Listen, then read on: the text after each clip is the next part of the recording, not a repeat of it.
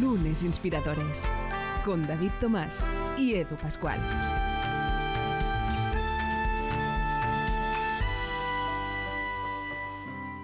¿Qué tal? Bienvenidos a Lunes Inspiradores. Hoy en un eh, nuevo programa donde tendremos ocasión de hablar de liderazgo humano. Y es que en este caso, aquí somos inspiradores, pero de alguna forma también intentamos primero liderar nuestras trayectorias profesionales, personales, eh, todas ellas juntas de la mano, para pues eh, resultar ya no solo inspiradores, pero sobre todo inspirarnos, como es el caso de la gran suerte que tenemos David Tomás y yo aquí presentes. ¿Cómo estás, David? Bienvenido.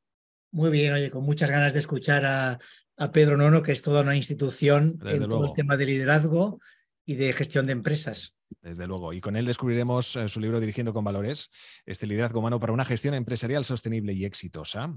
Además, si tenéis eh, ocasión de leer su índice, si ya lo tenéis entre las manos, este libro es imprescindible ahora mismo para entender lo que bien comenta David, con un invitado que es referente en liderazgo. Ah, Pedro Nueno, ¿cómo estás? Bienvenido. Muy bien, buenas tardes.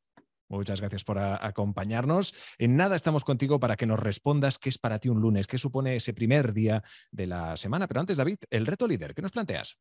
Mira, hoy vamos a aplicar el reto líder, una idea para identificar, digamos, la raíz de muchos problemas que se llama la regla de los cinco porqués. Y te cuento básicamente en qué consiste. Cuando tenemos un problema, en muchas ocasiones nos pasa en la vida profesional, pero también en la vida personal, nos quedamos justamente pues, en la parte superficial. Y este ejercicio lo que nos propone es que nos preguntemos el porqué de, de cada cosa hasta por lo menos hacer cinco porqués. Imagínate por un momento que dices, oye, pues en tu empresa entregas un proyecto tarde, pues la primera pregunta es, ¿por qué entregamos tarde el proyecto? Bueno, podría ser porque eh, no hemos tenido tiempo suficiente. Muy bien. ¿Por qué no tenemos tiempo suficiente? Este sería el segundo porqué. Pues porque estamos trabajando en otros proyectos que son más prioritarios. ¿Y por qué tenemos que trabajar en estos otros proyectos? Pues porque quizá no tenemos el equipo suficiente para poder avanzar. Y así seguiríamos indagando en los porqués, como mínimo hasta cinco veces, y lo que nos lleva es a encontrar casi siempre la raíz principal de un problema, con lo cual podemos atacar siempre la causa primera para después encontrar una solución. Ostras, David, me parece buenísimo, pero buenísimo, de verdad te lo digo, esos cinco porqués que nos vienen muy bien cuando algo no funciona, ¿no? Para investigar y detectar a su vez porque algo pues no, no, ha conseguido el objetivo deseado. Pues muy bien, fantástico, ese es el reto líder de esta semana, recordar, eh, comentarlo eh, y aplicarlo, obviamente, eso primero, pero luego comentarlo en las redes sociales de, David Tomás. Ahora sí, vamos a saber qué es eh, un lunes, que es para Pedro Nueno el primer día de la semana. Pedro, cuéntanos, ¿qué es para ti un lunes? Bueno, pues los lunes están bien.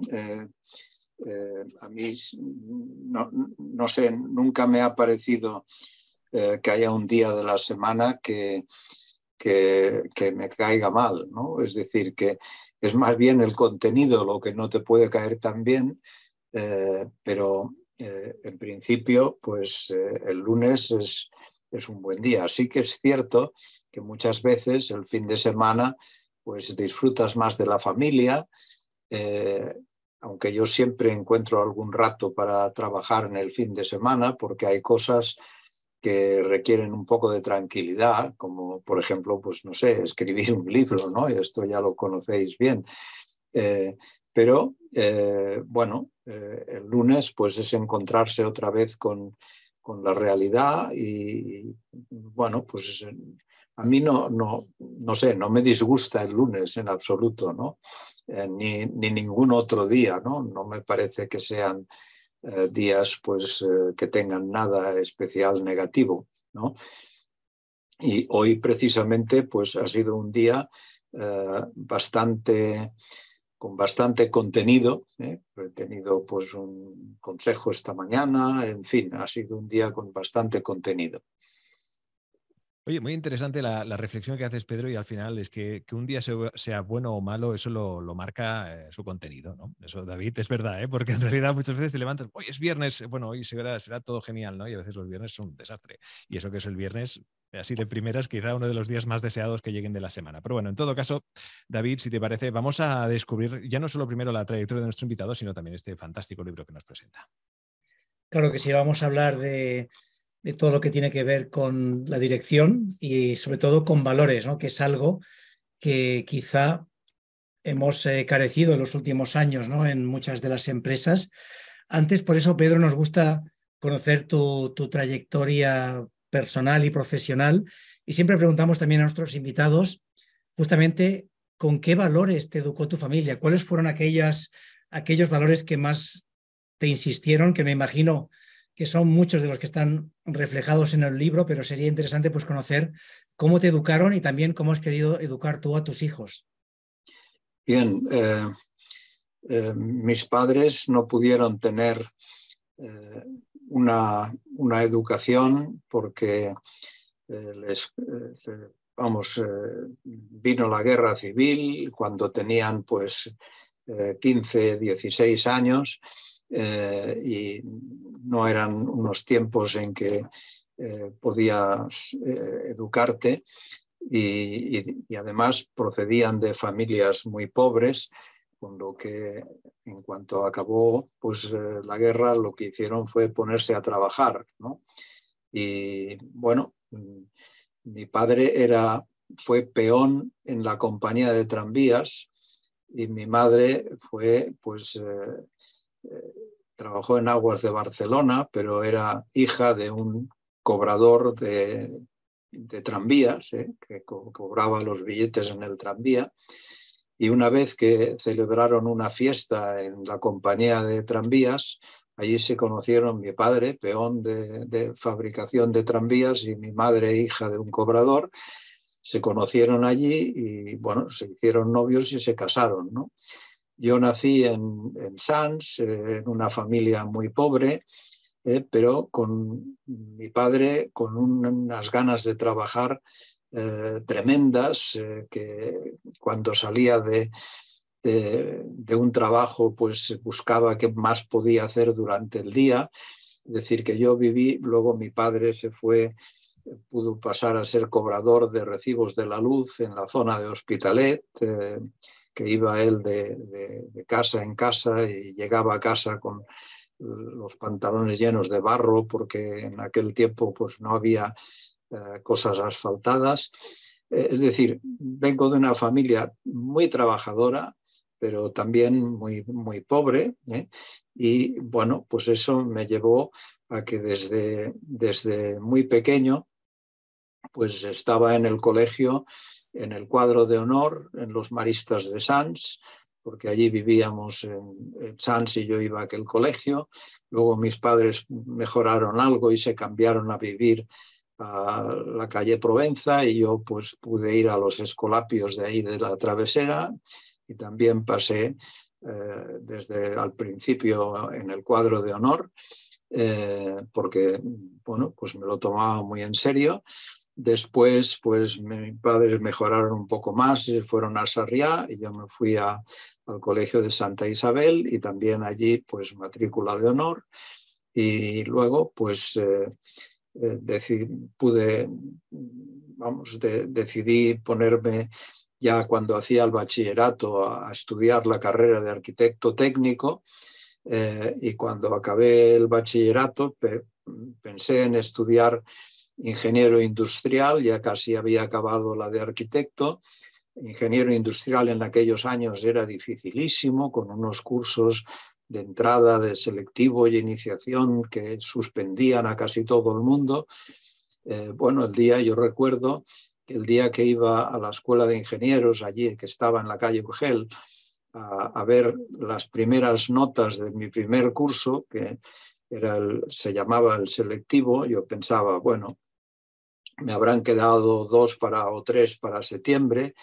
Eh, llego allí, miro las notas y veo que tenía de todas las asignaturas matrícula de honor. Yo pensé, bueno, pues esto de la ingeniería eh, tampoco es una cosa demasiado seria, ¿no? Eh, total, que seguí haciendo la carrera de ingeniero, pero trabajando a tiempo completo eh, que pude encontrar un trabajo de arquitecto técnico, que ya había acabado la carrera, en ferrocarriles catalanes. Y bueno, pues mira, allí arreglé el túnel aquel que sale de la Plaza España, eh, hice un diseño de una estación que entonces se llamó Molinou y que se, la, construí y que los planos están en el Museo General de Cataluña.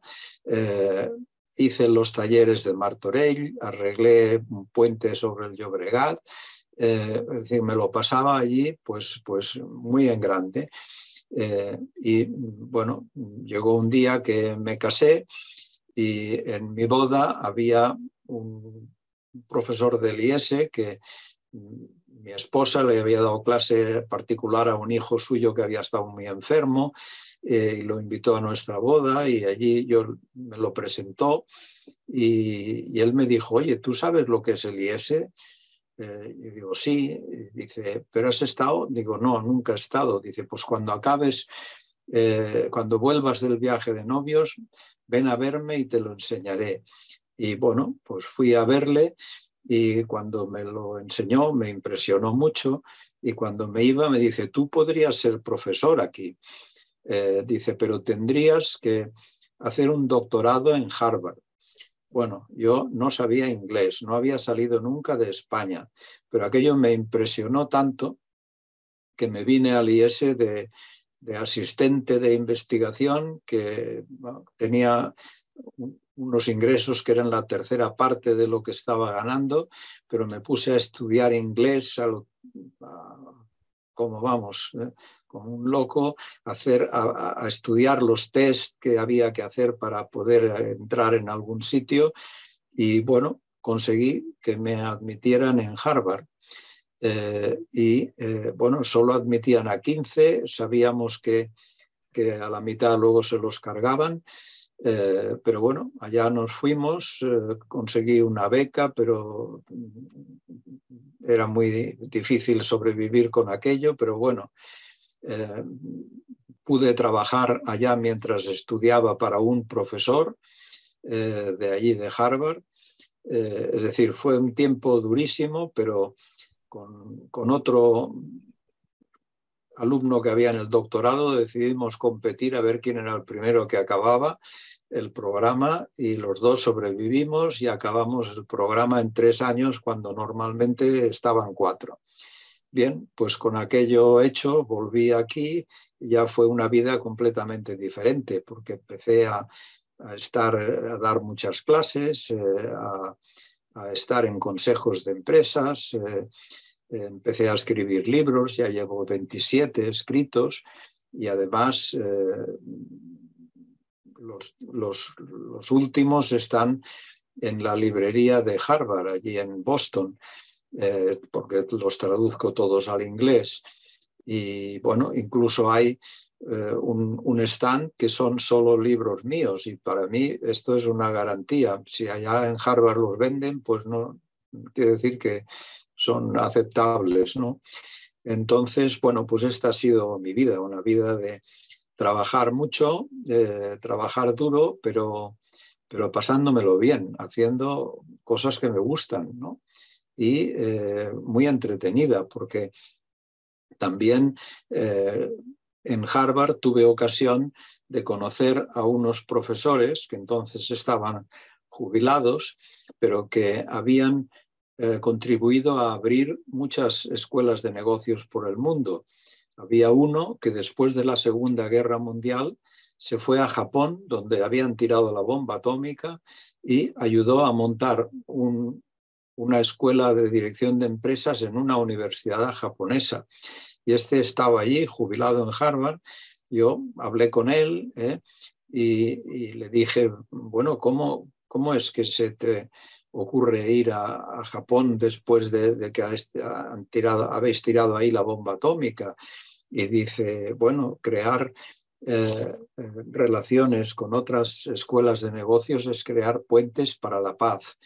Digo, bueno, pero, pero la cultura japonesa es muy, muy complicada, muy diferente de la americana. Dice, mira, nunca entenderás bien una cultura. Lo que has de hacer es ser humilde y tener respeto. Yo creo que este es el día que aprendí más en toda mi vida. Y cuando volví, de Harvard, pues ayudé a lanzar una escuela en Argentina, ayudé a lanzar otra en Colombia, ayudé a una que había en México a abrir otro campus en Monterrey, ayudé a otra a lanzar otra en Portugal, ayudé a lanzar una en Eslovenia, allí junto con Peter Drucker, porque había nacido por allí, y juntos pues ayudamos a lanzar esto. Y luego se me ocurrió pues lo de lanzar una escuela en China, porque yo pensé, bueno, son 1.500 millones de, personas aquí, no hay ninguna. Esto nadie, nadie lo veía ni lo entendía, ni, nadie me quiso ayudar, pero, pero bueno, me, fui allí, conocí al embajador de la Unión Europea, eh, este se me entusiasmó con el problema, y, con el tema de abrir una business school allá y, me dijo, esto le encantaría al alcalde de Shanghái. Digo, ah, pues hombre, preséntamelo. Y bueno, me lo presentó y en efecto le encantó y me dijo que me regalaba unos terrenos eh, extraordinarios en el mejor sitio de Shanghái para montar esto. Yo pensé, bueno, pues ahora me voy a ir a la Unión Europea y les voy a decir que, que Shanghái pues quiere esto y a ver si podemos hacer la escuela que sea 50% Shanghái, 50% Unión Europea. Y me fui a la Unión Europea, les convencí también, me dieron algo de dinero y bueno, pues empecé a, a construir allí una business school que tiene yo creo uno de los campus más bonitos del mundo. Y también eh, he de decir que contacté a, aquellos que habían estudiado conmigo en Harvard eh, y, todos se me apuntaron a ayudarme en el, proyecto sin cobrar, eh, simplemente porque era una cosa pues buena para la sociedad, buena para China, buena para el mundo y entre todos pues lanzamos allí una business school que ha llegado a salir número dos del mundo en algún ranking. Ahora tenemos un campus precioso en Shanghái, otro en Pekín, otro en el sur de China, en Shenzhen, y luego eh, en una ocasión que vino a España el, presidente de China, Hu Jintao, y eh, tuvo una cena con los reyes, los eh, eh, reyes anteriores, que también nos invitaron a mi esposa y a mí. Y allí estaba Hu Jintao y su esposa, el rey y la reina, mi esposa y yo. Y Hu Jintao, eh, una hija suya, había hecho el máster en, mi escuela de China, o sea que él conocía muy bien el proyecto. Y, bueno, el, el, rey le dijo a Hu Jintao, oye, tú vas mucho a África, porque en aquellos años eh, hace 10 o 12 años, eh, iba mucho, salía en la prensa que iba. Y mm, bueno, eh, él le dijo, es que vosotros fuisteis mucho a Latinoamérica, pero es que África está lleno de oportunidades que pueden ser muy útiles para empresas chinas. Y yo pues hago acuerdos para facilitar el tema. y entonces me mira a mí y me dice, por cierto, tú has de abrir tu escuela en África. Bueno, pues si me lo dijo así eh, Hu Jintao, eh, ¿qué podía hacer? Así que eh, también abrí la escuela de China, logré pues convencer a muchos, bueno, convencer, entusiasmar, porque la gente se entusiasmaba. En, en, Accra, en Ghana, así me lo recomendaron eh, los de Coca-Cola, que de aquí, de Barcelona, que están muy bien implantados por allí en África, yo lo sabía, se lo pregunté y me dijeron, pues oye, en Accra, en Ghana es un buen sitio y la verdad es que eh, ha funcionado increíblemente bien. Y luego, pues eh, también abrí un campus en Zúrich porque uno que había sido también profesor de Harvard eh, que era de Suiza, luego abrió su propia escuela en Suiza con su nombre, eh, pero un día me dijo, mira, yo como me voy haciendo mayor, voy pasando los negocios que tengo a mis hijos y esta escuela la voy a vender. Y bueno, pues eh, conseguí desde mi escuela de China comprársela porque pensé, bueno, esto puede servir para que empresarios chinos pues aterricen en Europa desde Suiza, porque desde allí es fácil ir a ver una buena empresa alemana, una buena empresa francesa y bueno, esto ha funcionado también muy bien, es decir, que hay ofrecemos allí algunos programas que vienen de China y lo que hacen es aprender Europa y luego invertir en Europa, que es lo que a nosotros nos parece eh, que es muy buena idea. Y lo mismo ocurre pues con los eh, africanos, ¿no? O sea que, bueno, pues esta ha sido una, una, vida profesional de, por, por, todo el mundo, pero haciendo cosas que, que han sido muy, eh, no fáciles, pero que han funcionado muy bien y funcionan muy bien.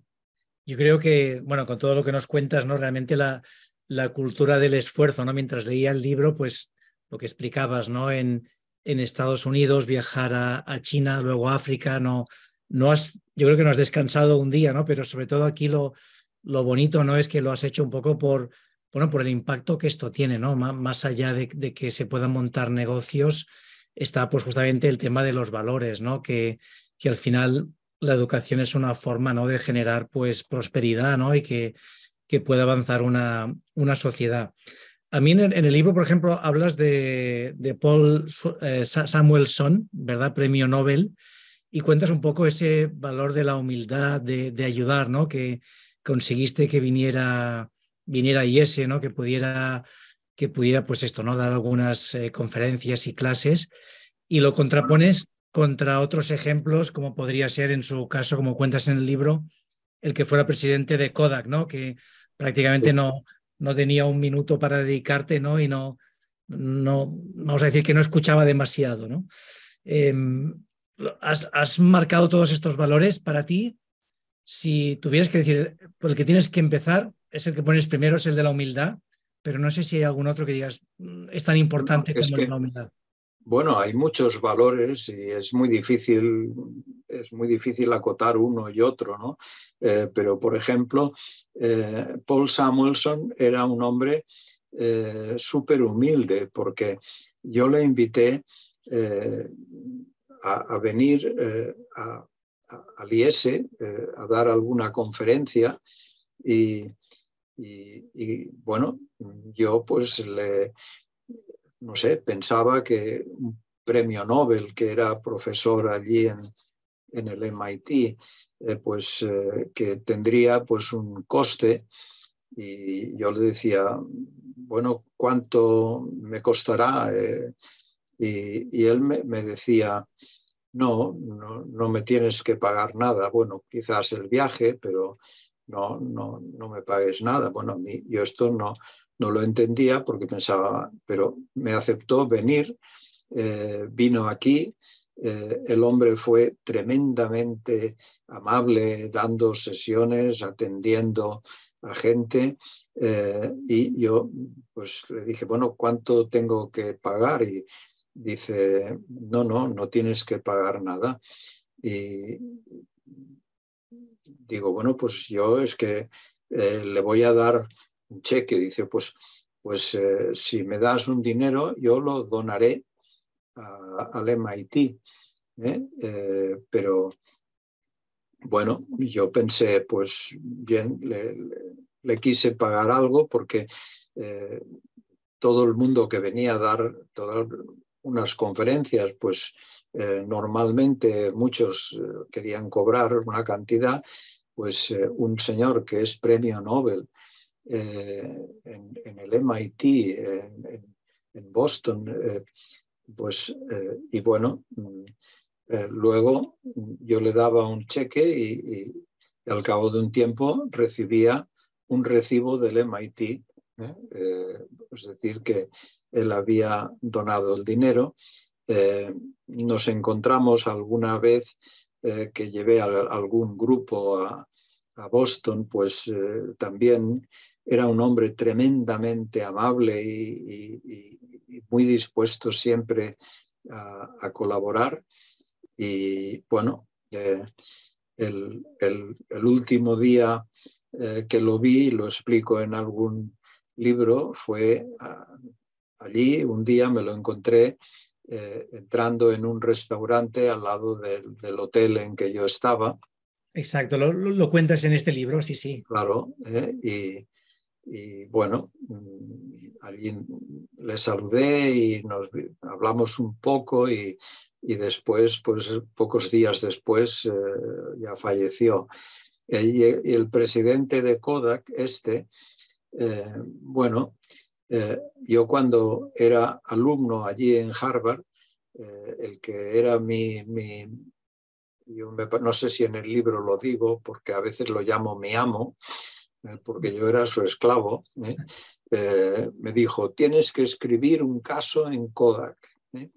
Bueno, yo llamé allí a, la secretaria del gran jefe y me dijo, bueno, pues no sé cuándo le podrá ver. Y, al cabo de un rato me llama y me dice, usted puede estar mañana en el aeropuerto de la Guardia de Nueva York. Y yo digo, sí, claro, yo no sabía, y ya, iré como sea, en coche, en, en, avión, donde tren, como pueda, pero esto ya no lo dije porque dice es que a las, mire, si está usted a las seis en tal sitio del aeropuerto, al lado de una puerta, de eh, a las seis eh, allí pasará el señor, el presidente de Kodak. Bueno, allí estaba y a las seis pues pasa un señor que sale por la puerta, allí había, un avión privado. Eh, y me dice, ¿usted es el de Harvard? Y digo, sí. Dice, sígame. Bueno, yo le seguí, eh, subió al avión, me dice, siéntese delante de él y me dice, yo solo dispondré del tiempo que dure el vuelo para eh, contestar a sus preguntas, así que pregunte. Yo no sabía ni a dónde íbamos, ni cuánto tardaríamos, eh, pero tampoco me atrevía a preguntarlo. Eh, así que empecé a hacer rápidamente las preguntas eh, y yo pensé, no sé, a lo mejor tardamos una hora, hora y media, pues voy a ver cómo en este tiempo saco todo lo que necesito para, para el caso.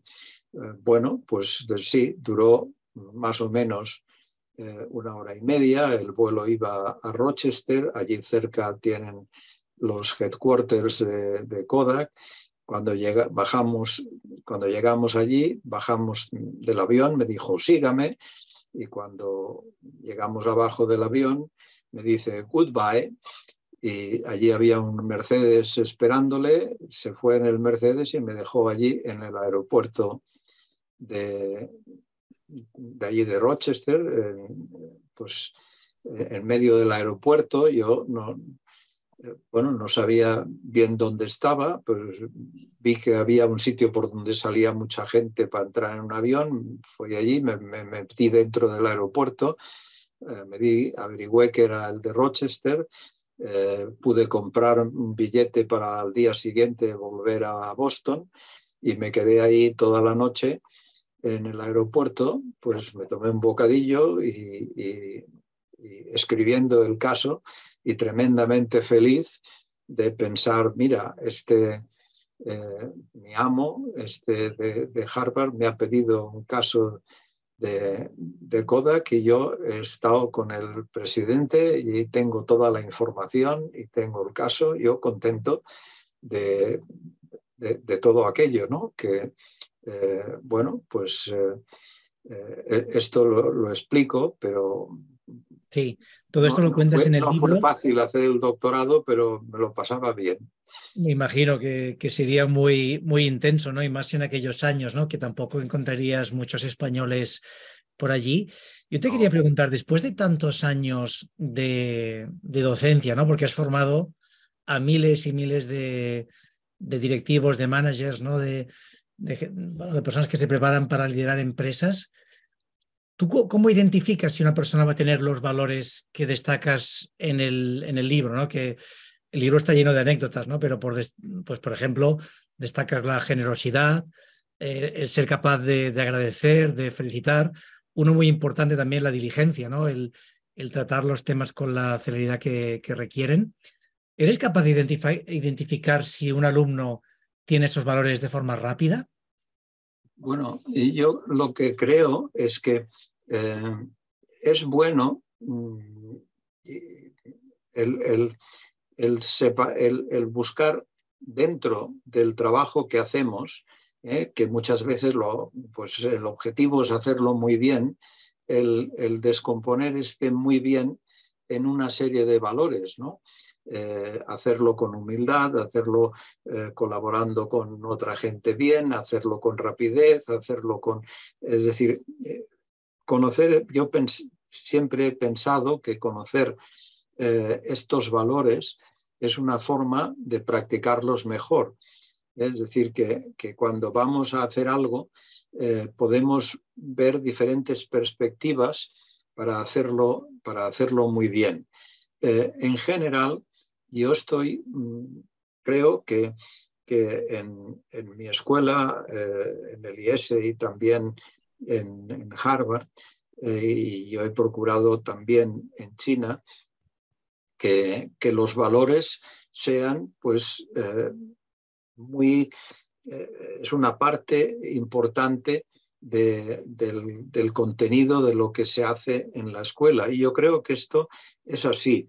Es decir, yo creo que, en el IS eh, hay grandes valores eh, y que mm, esto se comunica bien eh, a los que pasan por aquí.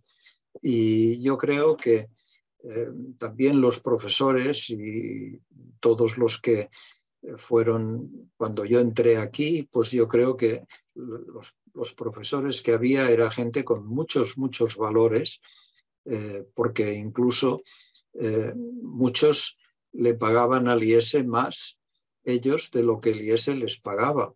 ¿eh? Esta era una política que había por aquí y, y, con todo, pues eran felices y disfrutaban y, cuando, cuando le pagaban al IES más de lo que el IES les pagaba, muchas veces lo celebraban.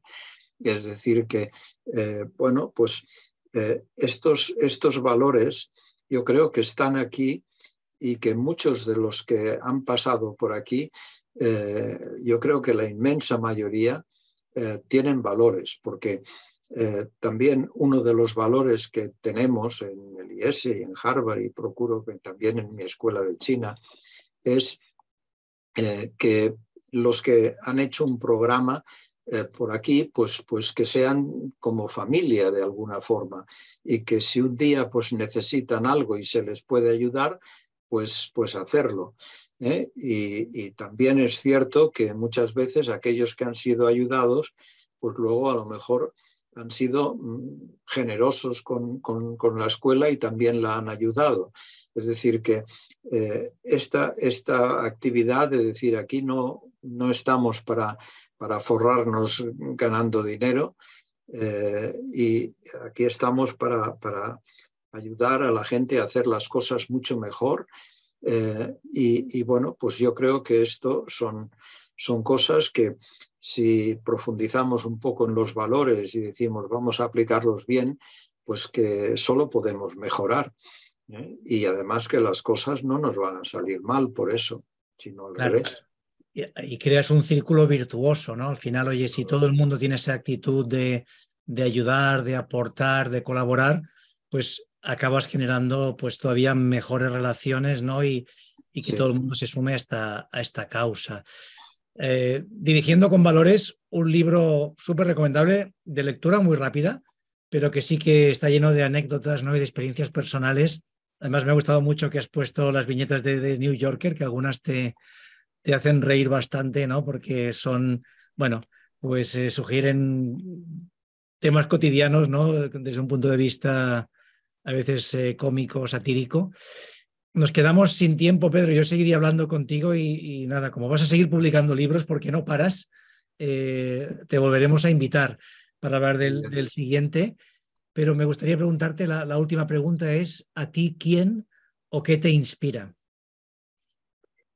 Bueno, eh, tengo, tengo la, suerte de, eh, bueno, a través del IES tener muy buenos contactos a través de mi escuela de China, pues no sé, he estado dos veces comiendo mm, él y yo solos con el presidente de China, con el señor Xi Jinping. es decir, que a través de, mi escuela de Harvard, todo esto, pues hay cantidad de, contactos de los que se puede aprender muchísimo. Es decir, que eh, yo creo que este, este aprender continuo eh, pues es, es, algo fenomenal. Y, y, a mí pues siempre me ha gustado y muchas, claro, también es posible muchas de estas cosas poderlas aplicar, pues porque aconsejas a alguien o porque estás en un consejo o por lo que sea. Y bueno, pues eso también es una satisfacción ver eh, lo bien que, que funciona. ¿no? Es decir, que eh, yo a veces eh, alguien me ha propuesto estar en su consejo y yo le he dicho, oye, que vas, corres un riesgo importante. Eh, ¿Y por qué? Hombre, por, porque te, haré la vida muy difícil, ¿eh? porque, por ejemplo, pues no estás en el mercado de China y es un mercado muy importante y hay, que ir allí.